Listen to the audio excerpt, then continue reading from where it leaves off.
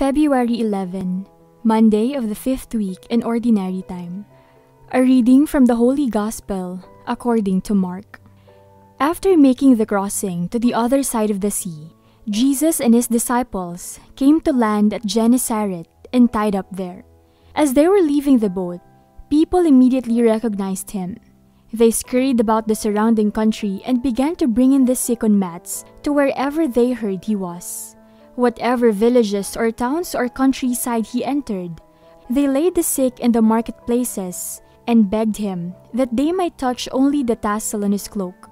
And as many as touched it were healed.